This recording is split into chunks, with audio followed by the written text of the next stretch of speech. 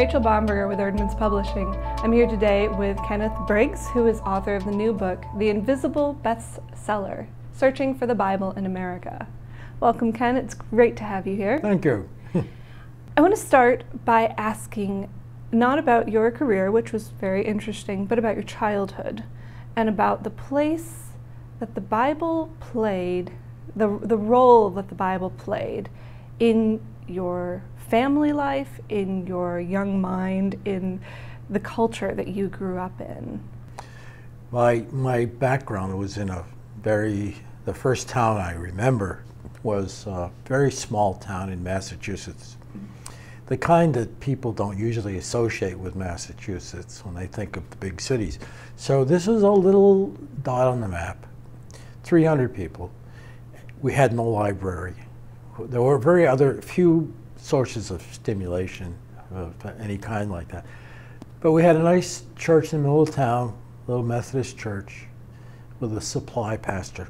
And I went there with my parents every Sunday, and my brother, and eventually my sister. And I came, became rather enthralled by hearing the words of the Bible because they gave me a perspective, a point of view, an opening of a whole vista of life and possibility and thought that I had never heard before.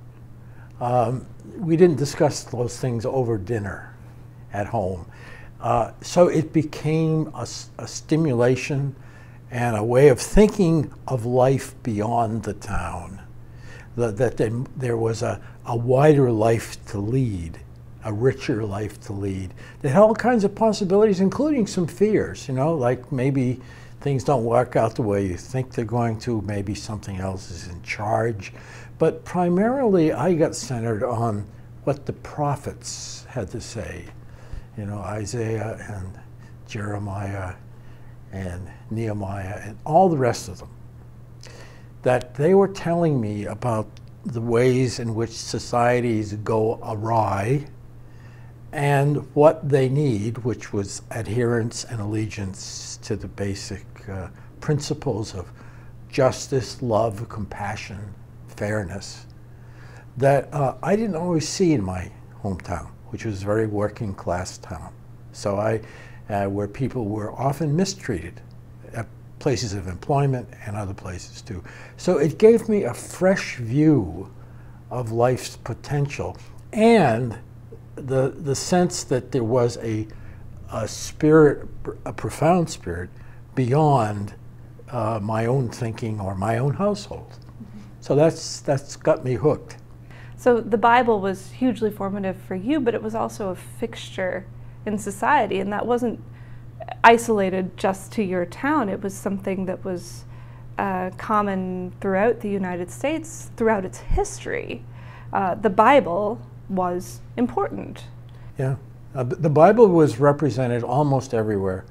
I think uh, one of the sources, for example, was the Reader's Digest that used to come around. They always had some prominent allusion to the Bible in there, whether it was a story or a spin off or whatever it could be. It was, it was uh, there, and it was in so many aspects of life the, the quotes would be uh, found in so many locations. So yeah, it was a, it was it was a common staple of life, even though it wasn't necessarily obeyed or understood very well. it it was there, and it was given a great deal of respect. Oh yeah, yeah, yeah. I mean that Bible sat in our church, front and center, and it looked about 500 times bigger than any book I'd ever seen, so you couldn't miss it.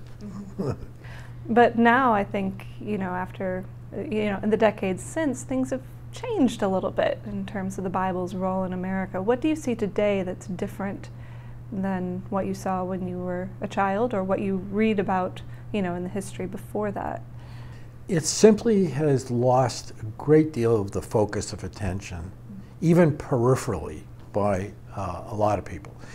And uh, the actual readership has gone down so far as we can tell. And the, the references to it, even in cultural terms, has been reduced so that it used to appear in many more plays, books, uh, movies, although there are movies that try to uh, be address direct biblical material.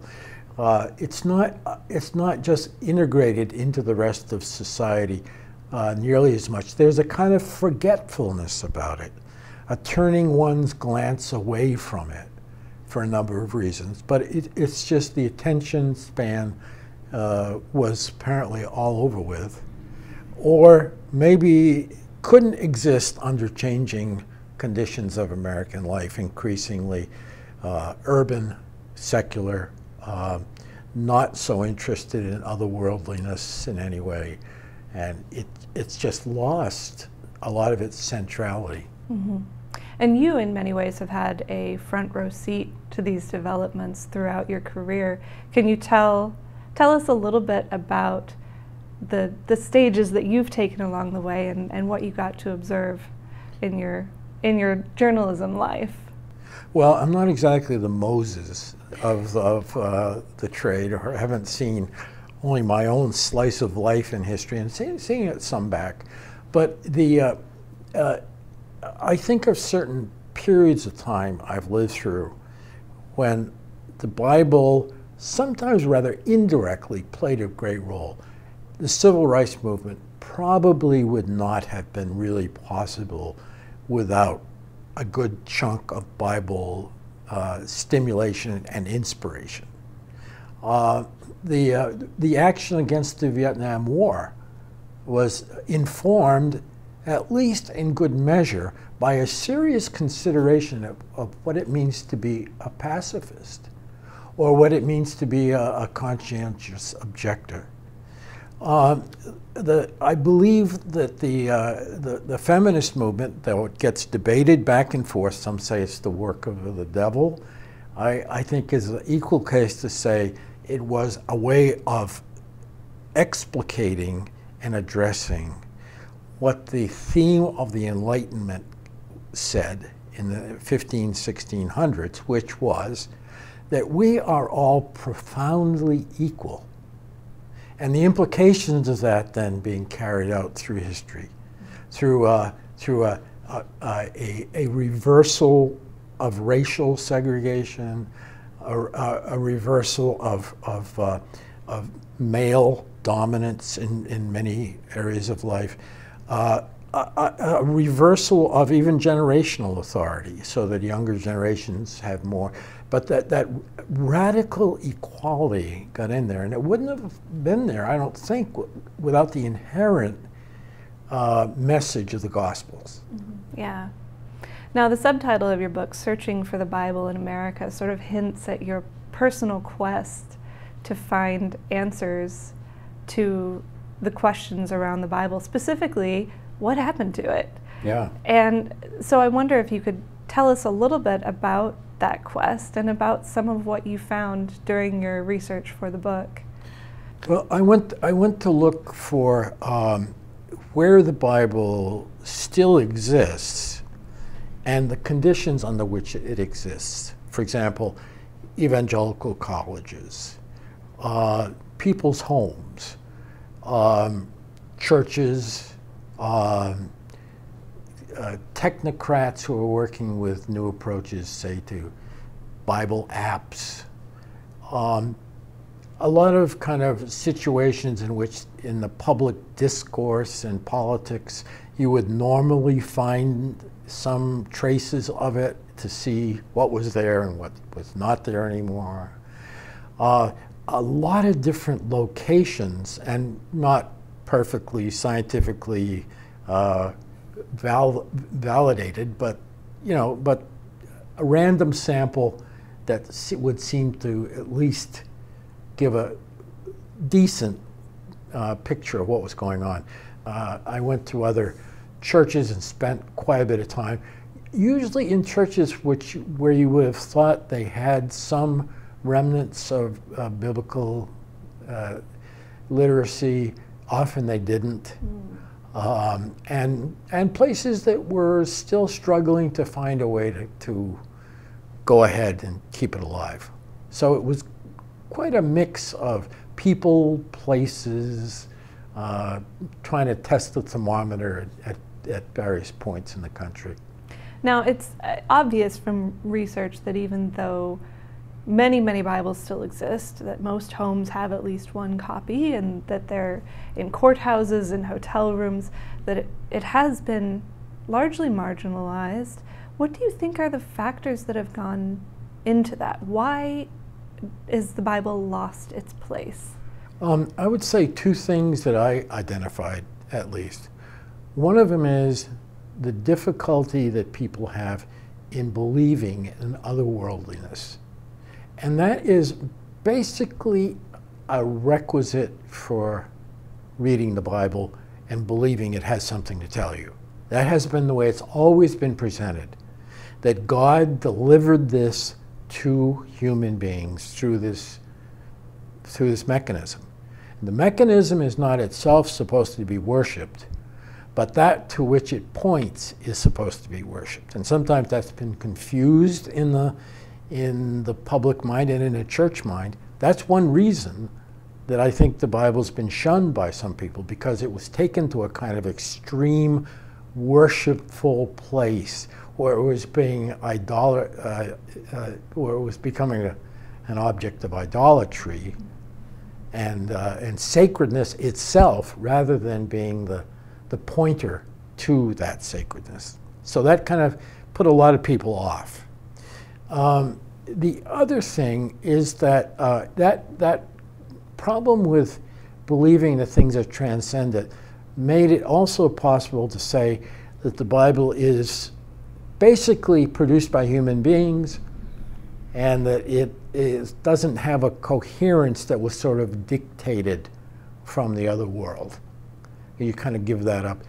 That leads to my, the second point I'd make, and that is I think part of the, the, the, the backing away from the Bible has had to do with the huge gap between the scholarly endeavors that deal with, with biblical study, criticism, resource, and the congregations who by and large know nothing about that.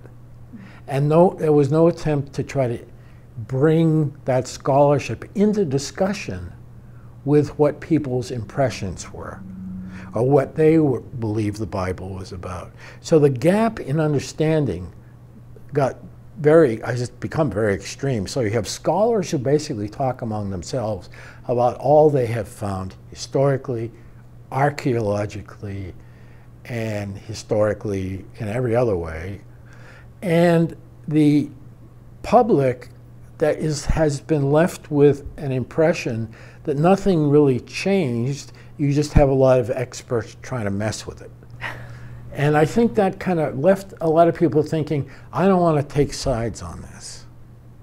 And I don't understand any of it because the scholars are getting too sophisticated and technical. And, the, and what people understand in an ordinary sense doesn't go very far. In many cases, people don't know anything to begin with. So uh, a kind of hyper use by people who really good researchers saying, you know, Isaiah, so far as we're concerned, was made up of three different documents. Not a single document, not by somebody named Isaiah. It's a jarred a lot of people in the, in the pews who were saying, no, that's not the way we understood that. It was, there was no bridging. Yeah. There was no, almost no bridging. So both sides kind of got disillusioned with each other, and a lot of people just wanted to stay out of it. And I think that lost the Bible, lost the Bible some possible adherents or, or those who were interested. Yeah. The data is pretty clear that, you know, the Bible is losing its place of prominence in America. But I want to ask you, if we lose the Bible, what do we lose? That's one of the questions I asked a lot, and I still ask. We appear to be and I, I know people have been issuing Jeremiads forever saying this is the end of everything. But we do seem to be in a very serious crisis of understanding what life is about. Uh, beneath all the particular disputes over the economy, about the political structure, about so many, about the, the ecology, uh, beneath a lot of that is why do we need to even do this? How does this contribute to some kind of whole view of what, what life is like? And without even arguing that the Bible has to be the only answer, the fact is, with the Bible gone, it has occupied that foundation of understanding about what life is.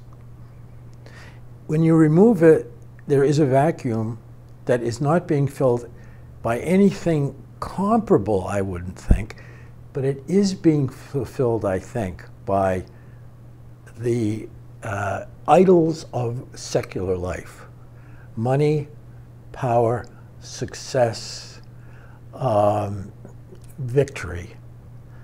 And I don't think that itself stands up, a material view of the world stands up very well in the long run because we get testimony after testimony that says basically, even with non religious people, I tried all that and it didn't work.